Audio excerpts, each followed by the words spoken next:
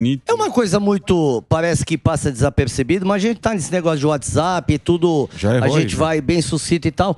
Mas tem muito vendedor que chega no cliente e tal e fica. Ah, eu vou esperar seu pedido e manda a mãozinha. Ah, eu. O emoji. É, gostei do seu coração, do, do seu orçamento e manda um rostinho. Soquinho. Então, isso atrapalha, esse tipo de comunicação, essa liberdade, que talvez ele nem tenha, atrapalha muito também relação vendedor com, com, com o cliente? Sim, porque infantiliza a pessoa. Os emojis, eles infantilizam o nosso discurso.